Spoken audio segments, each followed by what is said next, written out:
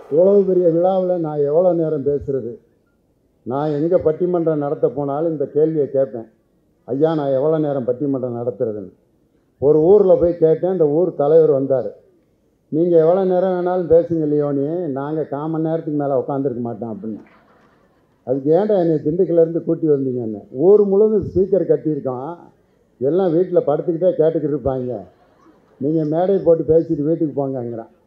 அவங்கெல்லாம் வீட்டில் படுத்துக்கிட்டே கேட்பாங்களாம் நான் வெறும் நாற்காலியை பார்த்து பேசிட்டு அப்படி ஒரு பேச்சு பேசுகிறதுக்கு பேசாமல் இருந்துடலாம். என்னுடைய அருமை தம்பி ஈரோடு மகேஷ் தமிழ்நாடு முழுவதும் தன்னுடைய அழகிய பேச்சாலும் அருமையான நகைச்சுவையாலும் மக்களை கவர்ந்த என்னுடைய அருமை தம்பி. அது மாதிரி வெறும் நாற்காலிகளை பார்த்து பேசுவதற்கு நாங்கள் அல்ல. ஒரு கலைஞனுக்கு மிக முக்கியமானது எது என்று சொன்னால் மேடையிலே போர்த்தப்படுகின்ற பொன்னாடையோ கொடுக்கப்படுகின்ற நினைவு பரிசோ அல்ல.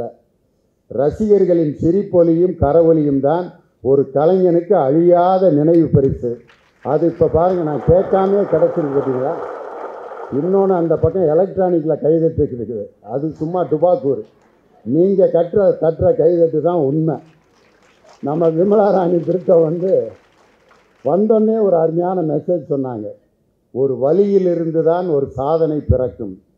உண்மையில அந்த வாக்கியம் என்னை ரொம்ப பாதிச்சிருச்சு. காரணம் நானும் ஒரு வழியிலிருந்து உருவானவன் தான். எங்கள் வீட்டில் பத்து பிள்ளைய அவங்க வீட்டில் எஸ்எஸ்சி ஐயா வீட்டில் அவங்க இது பிரிட்டோ சேவியர் பிரிட்டோ வீட்லேயும் ஏகப்பட்ட பிள்ளைய எங்கள் அப்பாவும் அவங்க அப்பாவும் ரொம்ப சமுதாயத்துக்கு அருமையான சேவை செஞ்சுருக்காங்க. குடும்ப கட்டுப்பாடை பற்றி கவலையே படல அவங்க. குடும்ப கட்டுப்பாடுங்கிற அந்த சிஸ்டத்தை சட்டத்தை மீறினதுனால பிறந்தவன் தான் லியோனி. இரண்டே பெருக ஒளிமயமாய் வாழ்க அப்படின்னு எழுதி எழுதி போட்டிருந்தாங்க எங்கள் வீட்டு முன்னாடி. எங்கள் அப்பா ரெண்டோட நிறுத்தியிருந்தால் நான் மூணாவது பிள்ளையாக பிறந்திருக்க முடியாது. அப்படி பார்த்தா பிரிட்டோவை நீங்கள் என்ன யோசனை பண்ணி பாருங்கள் அந்த குடும்ப கட்டுப்பாடுங்கிற சட்டத்தை மதிக்காத நபர்கள் யாருன்னா எங்கள் அப்பாவும் பிரிட்டோவோட அப்பாவும். அதில் எங்கள் வரிசையாக மூணு ஆம்பளை பிள்ளைய பிறந்தோன்னே எனக்கு அடுத்து ஒரு பொம்பளை பிள்ளை பிறந்துச்சு. அவ்வளோதான் எங்கள் அப்பா அந்த பொம்பளை பிள்ளை மேலேயே தான் கவனம் பூரான் பாவாடை ஜாக்கெட்டு பவுட்ரு அந்த பிள்ளைக்கே தான் வாங்கி கொடுத்துருந்தார் எனக்கெல்லாம் வருஷத்துக்கு கிறிஸ்மஸ்க்கு கிறிஸ்மஸ்க்கு ஒரு டவுசர் எடுத்து கொடுப்பாரு. அப்போ எங்கள் அப்பா சொல்லுவார் எப்பா என்னப்பா அந்த பிள்ளையவே கவனிச்சிட்டு இருக்கீங்க? நான் ஒரு பிள்ளை இருக்கேன்னு தெரியாதான் அந்த பொ- பெண் குழந்தையவே கவனித்தவருடைய விளைவு நான் நெக்லெக்டட் சைல்டு ஆகிட்டேன் ஓரங்கட்டப்பட்ட குழந்தை. அந்த ஓரங்கட்டப்பட்ட குழந்தையாக நான் இருந்ததுனால என்னுடைய ப்ரெசன்ஸை காட்டிக்கிட்டே இருக்கணுங்கிறதுக்காக வெவ்வேறு குரலில் பேசுகிறது வெவ்வேறு மாதிரி ஆக்ட் பண்ணுறது எங்கள் அப்பா அம்மாவும் சண்டை போடுற மாதிரி பெர்ஃபார்மன்ஸ் காட்டுறது. இந்த மாதிரிலாம் பண்ணி பண்ணி நான் இருக்கிற கூட்டத்தை கூட்டத்தில் நம்ம தனியாக தெரியணும்டா. அப்படிங்கிறதுக்காக வேண்டியே என்னுடைய திறமையை நான் வளர்த்து கொண்டேன். வீட்டிலே நான் பொம்பளை பிள்ளை காரணமாக ஓரங்கட்டப்பட்ட அந்த வழி தான் லியோனி இன்னைக்கு உருவாக்கிடும் இன்றைக்கி வந்து அந்த மாடர்ன் அந்த சோஷியல் மீடியாவை குழந்தைகளுக்கு எப்படி பயன்படுத்துறது? இப்போது ஒரு ரெண்டு வருஷமாக ஆன்லைனில் தான் பையனுங்க படித்தானுங்க என் பேர பிள்ளைய ஆன்லைனில் உட்காந்து படித்த அந்த கொடுமையை நான் பார்த்தேன். பரிதாபமாக இருக்கும் அந்த மிஸ்ஸு அனாதையாக பாடிக்கிட்டு பேசிகிட்டு இருப்பாங்க. அவங்க உண்மையிலே வாழ்க்கையில் இந்த மாதிரி ஒரு கொடுமை உலகத்தில் வேறு யாருக்குமே அமைய முடியாது. யாருமே கேட்காம தனியாக ஒரு கேமராவை பார்த்து எவ்வளோ நேரம் பேசுகிறது அதே மாதிரி அந்த ஒரு கிளாஸ் நடந்துகிட்ருக்கு ஃபஸ்ட் ஸ்டாண்டர்ட் கிளாஸு மிஸ்ஸு நடத்திக்கிட்டு இருக்காங்க. ஏதோ ஒரு ரைம் நடத்திக்கிட்டு இருக்காங்க. நான் பக்கத்து ரூமில் உட்காந்து பேர பிள்ளைய ரொம்ப அருமையாக கேட்டுக்கிட்டு இருக்காங்க கிளாஸ் அப்படின்னு நினச்சா திடீர்னு வாய்ஸ் வேறு மாதிரி மாறிச்சு மிஸ்ஸோட வாய்ஸ் மிஸ் சொல்லி கொடுத்துருக்காங்க I am going to teach you the rhyme come on say the children come on say begin me அப்படின்னு சொன்னாங்க. திடீர்னு பார்த்தா டே பட்லு என்னடா சமோசா விட்டுட்டு நீ என்னை விட்டுட்டு தின்னுக்கிட்டு இருக்க? இல்லைடா மோத்து நான் வந்து உடனே விட்டுட்டு நான் சாப்பிடுவேனா? என்னடா அப்படி பேசிட்டு இருக்க? டேய் பட்லு இந்த ஜான் பையன் நம்மளை ஏமாத்திட்டு என்னடா அது ரைன் கேட்டுட்டு இருந்துச்சு. திடீர்னு பார்த்தா மோட்டு பொட்டில் ஓடிட்டு இருக்குன்னு பார்த்தா டிவியில் மாற்றி விட்டானுங்க. மோட்டு பொட்டில் சீரியல் ஓடிக்கிட்டு இருக்கு. என் பேரை மாற்றி விட்டு அதை தான் ஜாலியாக கேட்டுக்கிட்டு இருக்கேன். அந்த டீச்சர் நடத்தின அந்த பாடம் பிடிக்கல மோட்டு பொட்டில் பிடிக்குது. ஒரு ஒரு வாரம் கழிச்சு டே இனிமேல் இந்த மாதிரிலாம் பண்ண பார்த்துக்க அப்படின்னு மிரட்டிட்டு போயிட்டேன். ஒரு வாரம் கழித்து பார்த்தா அதே மாதிரி மிஸ் நடத்திட்டு இருக்காங்க maths one plus one equal to two two plus two equal to four அப்படின்னு நடத்திட்டு இருக்காங்க. திடீர்னு பார்த்தா டோரா இப்போ நம்ம எங்கே போகிறோம் காடு மலை பாலைவனம். காட்டுக்கு எப்படி போகணும்? நான் அந்த மேப் நான் அந்த மேப் நான் அந்த மேப் நான் அந்த மேப் டே என்னடா டூ ப்ளஸ் டூ ஓடிக்கிட்டு இருக்கு? இங்கே பார்த்தா நான் தான் மேப் டோரா பூச்சி போட்டு பார்த்துட்டு இருக்கேன். அண்ணே இது பேரம்பேட்டி பார்த்த மாதிரி இல்லை நீங்கள் நல்லா பார்த்த மாதிரி இருக்கு. அவனுங்களால தான் நான் அதை பார்க்க வேண்டிய நற்பம் தான் இன்னைக்கு பார்த்தீங்கன்னா இப்போ பெப்டி அவங்க விமலா ராணி பிரிட்டோ என்ன செஞ்சுருக்காங்கன்னா two plus two equal to four அதே மாதிரி ரைம்ஸு அதே மாதிரி நம்ம இருக்கக்கூடிய ஆல்ஃபபெட்ஸு இதையும் அந்த மோட்டு பட்டிலொன்று சில்ட்ரன் எதை ரை ரசித்து பார்க்குறாங்களோ அது ரெண்டையும் மிங்கிள் பண்ணி லேர்னிங் பை பிளேயிங் அதான் வந்து பெப்டியோட மிகப்பெரிய ஒரு கண்டுபிடிப்பு. லேர்னிங் பை பிளேயிங் விளையாட்டு விளையாடிக்கொண்டே ஒரு கல்வியை கற்றுக்கொள்வது. இதுதான். எனக்கு நாங்கள்லாம் நானும் பிரிட்டோலாம் படிச்சுட்டு இருக்கும்போது மேத்ஸில் பார்த்தீங்கன்னா தனி வட்டி கூட்டு வட்டி. அதை உட்காந்து மனப்பாடம் பண்ணுவோம். அந்த ஃபார்முலாவை. சேவர் அல்ஃபோன்ஸ் ஃபாதருக்கெலாம் தெரியும். PNR by hundred P principal N number of years R rate of interest இது மூணையும் பெருக்கி நூறால் வகுத்தா தனி வெட்டியை கண்டுபிடிக்கலாம். இதனால எனக்கு அந்த பிரயோஜனம் உண்டா இப்போ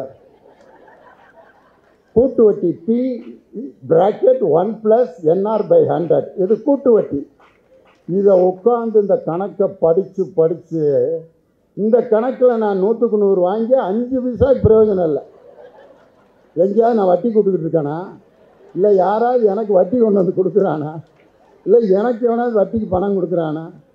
இந்த பிஎன்ஆர் பை ஹண்ட்ரட் படித்து எனக்கு என்ன பிரயோஜனம்? இல்லை. வாழ்க்கைக்கான கல்வி எதுவோ அதுதான் சிறந்த கல்வி.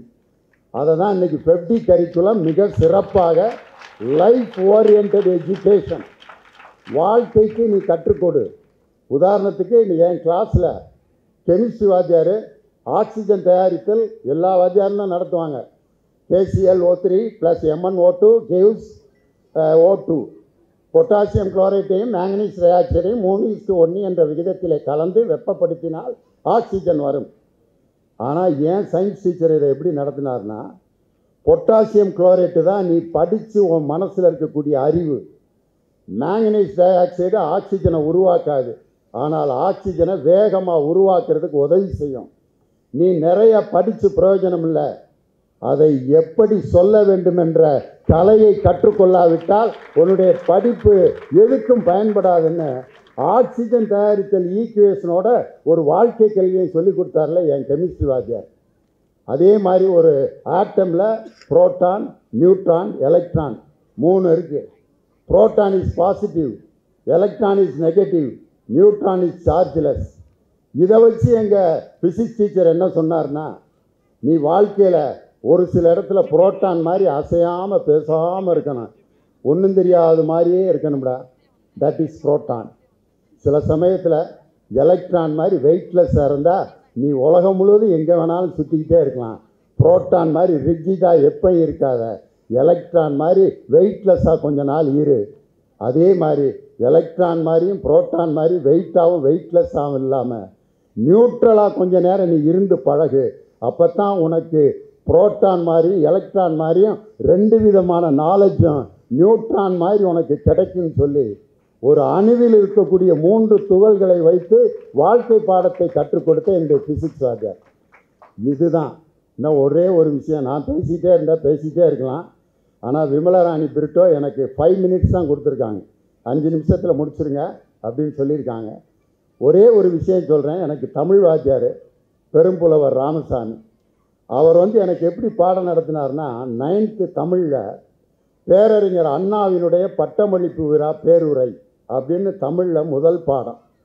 அந்த பாடத்தை எல்லா தமிழ் வாத்தியாரும் எப்படி நடத்தியிருப்பாங்க? அண்ணா அவர்கள் இப்படி பேசினார். மதுரை காமராஜர் பல்கலைக்கழகத்தின் பட்டமளிப்பு விழாவில் இப்படிலாம் பேசினார். முதல் கேள்வி அண்ணா பேசியதில் அவர் ஒரு அறிஞரின் கருத்தை கூறியிருப்பார். அந்த கருத்து என்ன? அப்படின்னு கொஸ்டினில் கேட்பாங்க எழுதுவான். இல்லை. ஆனால் என் தமிழாசிரியர் அதை எப்படி நடத்தினார்னா அண்ணாவினுடைய குரல்லையே அந்த பாடத்தை நடத்தினார். அந்த பாடம் முழுவதும் அண்ணா பேசுகிற மாதிரியே வாசித்து காமிச்சார். ஆய்ந்தறிதல் வேண்டும் அதற்கேற்ற அஞ்சாமை வேண்டும். இன்றைய சிந்தனையை சிறைப்படுத்திவிட்டு கொடுமையை கோலோச்சு செய்வதற்கு உடந்தையாகி விடுவோம். பட்டம் பெற்றிடுகின்றேன். பாராட்டுக்குரியீர் பட்டம் எதற்கு? காட்டி கழித்திடவா? அன்றி பணி செய்திட கிடைத்திட்ட ஆணை என கொண்டிடவா? நைன்த் ஸ்டாண்டர்டில் படித்த அந்த முதல் பாடம் இன்றைக்கி எனக்கு வந்து நைன்டீன் செவன்ட்டி ஒனில் படித்த பாடம் இன்னைக்கு இந்த லோயலா சேவியர் பிரிட்டு ஆடிட்டோரியத்தில் மனப்பாடமாக நான் சொல்கிறேன்னா அந்த ஆசிரியர் கற்றுக் கொடுத்த முறை. ஆனால் இன்றைக்கி ஆசிரியர்களுக்கும் மாணவர்களும் நேரடியாக சந்தித்து கொள்ளக்கூடிய வாய்ப்பு என்பது ரொம்ப குறைஞ்சிருச்சு. எங்களை மாதிரி கலைஞர்களும் ரசிகர்களும் சந்திக்கிற வாய்ப்பு ரொம்ப குறைஞ்சிருச்சு. எல்லாம் ஆன்லைனாக போயிடுச்சு இது எல்லாத்தையும் பயன்படுத்தி மாணவர்களுக்கு த லைஃப் ஓரியன்ட் எஜுகேஷன் அதே மாதிரி லேர்னிங் பை பிளேயிங் இது ரெண்டையும் இணைத்து ஒரு அருமையான கரிக்குலத்தை இருபது ஆண்டுகள் உழைத்து உருவாக்கிய விமலா ராணி பிரிட்டோவுக்கு என்னுடைய மனமார்ந்த வாழ்த்துக்களை பாடநூல் கழக தலைவர் என்ற முறையிலே தெரிவித்து அவருடைய கரிக்குலத்தை இன்றைக்கி வந்து எங்கள் கல்வி அமைச்சர் வராவிட்டாலும் அவர் சார்பாக நான் வந்திருக்கிறேன். அதனால் இந்த கரிக்குலத்தை இந்த பாடத்திட்டத்தை தமிழகத்தில் ஏதாவது ஒரு பகுதியில் முதலில் அதை பரீட்சார்த்தமாக செயல்படுத்தி காட்டி அந்த பாடத்திட்டத்தில் எங்கள் பாடத்திட்டத்திற்குள் அதை கொண்டு வருவதற்கு மாண்புமிகு முதல்வர் அவர்களும் பள்ளிக்கல்வித்துறை அமைச்சர் மூலமாகவும் தகவல் தொழில்நுட்ப அமைச்சர் மூலமாகவும் அந்த முயற்சியை எடுப்போம் என்ற உறுதியை இந்த நேரத்தில் சொல்லி அவர்களுடைய கல்வி பணி மென்மேலும் சிறக்க வாழ்த்தி வணங்கி என்னுடைய அருமை குழந்தைகள் மிச்சல் விமலா ரெண்டு பேருக்கும் என்னுடைய வாழ்த்துக்களை சொல்லி விடைபெறுகிறேன். நன்றி வணக்கம்.